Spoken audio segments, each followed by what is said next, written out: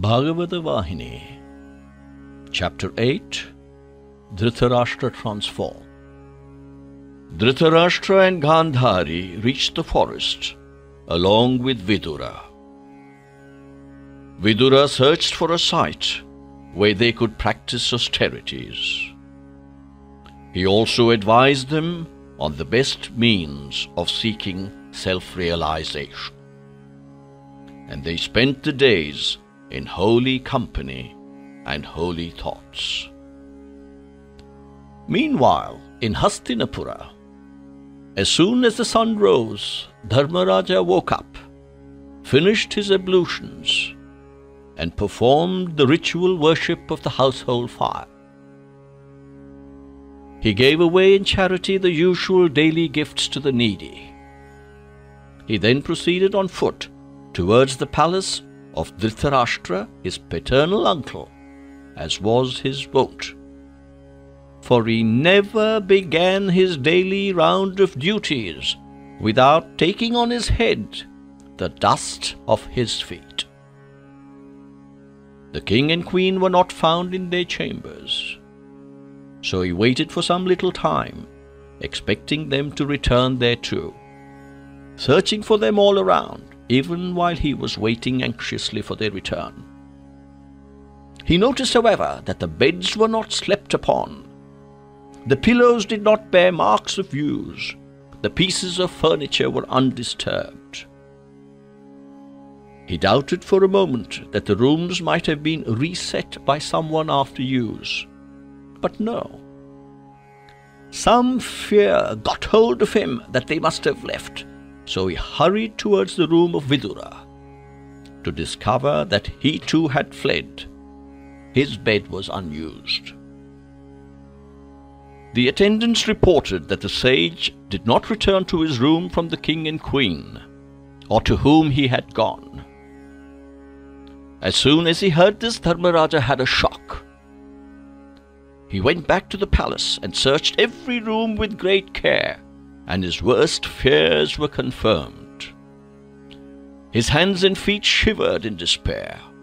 His tongue became dry. Words failed to emerge from his mouth. He fell on the floor as if life had ebbed out. Recovering, he blabbered indistinctly. He called on Vidura more than once, and the officers around him became afraid of his future. Everyone rushed to the presence, asking, What happened? sensing some calamity. They stood in a circle, awaiting orders from the master.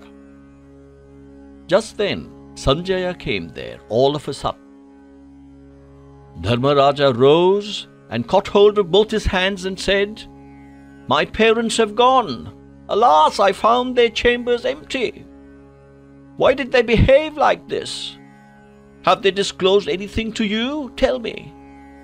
If I know where they have gone, I could fall at their feet and crave pardon for all my failings. Tell me quick, Sanjaya, where have they gone? He too had no knowledge of their whereabouts. He only knew that Vidura must be involved in the whole affair. He too shed tears, and holding Dharmaraja's hands in his, he said in a voice that shook with emotion. Lord and Master, believe me, I'm speaking the truth. Of course, Dhritarashtra used to consult me and ask for my suggestions even in small matters. But in this affair, he has acted without discussing with me or even informing me. I'm struck with wonder at this act. Though I was near him, I did not in the least know about his journey. I cannot also guess why he should have done so. I never dreamt that he would deceive me thus. He showed me some respect and had some confidence in me, but he has played me false. I can only say that this is my bad luck. And Sanjaya started weeping like a child. Dharmaraja consoled him saying that it was really the consequence of his own sins and not Sanjaya's. The extent of our bad luck can be gauged from this. Our father left us even while we were children. This uncle brought us up from that tender age. We were revering him and tending him as both father and uncle. I must have perpetrated some error out of ignorance. I'm incapable of doing so consciously. Both uncle and aunt were broiling in the agony of the loss of their hundred sons. I was eager to offer them some little peace. And so, myself and my four brothers were wholeheartedly serving them so that they might not remember the anguish of their terrible loss. We took care that no little point was missed while serving them. There was no diminution of reverence or affection. Alas, that they should have left this place. What a tragedy! What a terrible blow! Lamented Dharmaraja. My uncle and aunt are both aged and weak. Besides, they are blind. I cannot understand how they managed to leave this place. How they must be suffering now. Not even one attendant accompanied them. Of what benefit are these large numbers that I have? Groping along, they might have fallen into the Ganges by now. Oh, how unlucky I am! I fostered them both like the apple of the eye, and at last I have allowed them to meet this tragic fate. Dharmaraja was beating his breast and expressing his deep distress. The brothers heard the lamentation and they flew fast to the side of the weeping Dharmaraja. Kunti, the mother, also inquired anxiously the reason for the grief.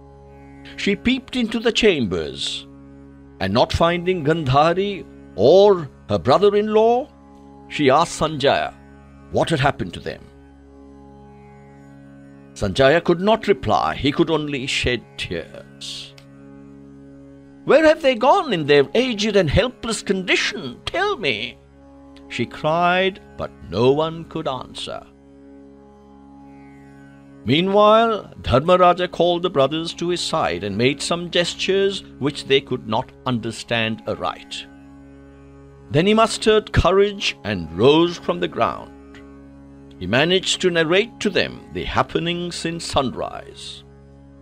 He asked Bhima to send force in all directions to search for them and find them, for they would not have gone far, since they were blind and could not travel fast they must be groping their way.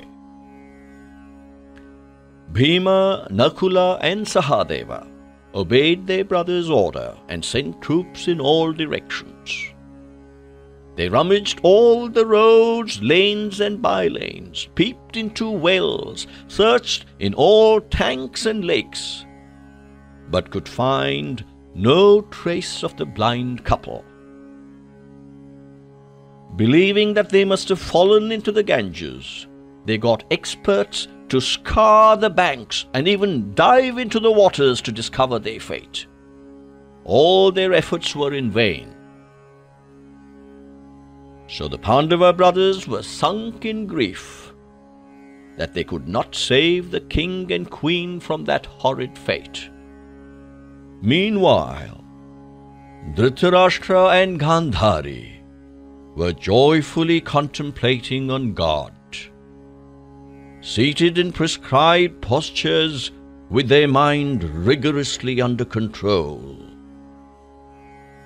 When they were thus lost in divine contemplation and immersed in that supreme joy, a huge forest fire swept along, consuming them too in its fierce onslaught. Vidura had a great desire to cast off his body at the holy center of Prabhasa Kshetra. And so he escaped the fire, and filled with joy at the immense good fortune of the couple, he continued his pilgrimage and reached the place which he had chosen as the scene of his exit. There he cast off his body, which was composed of the five elements, and which therefore was material and momentary.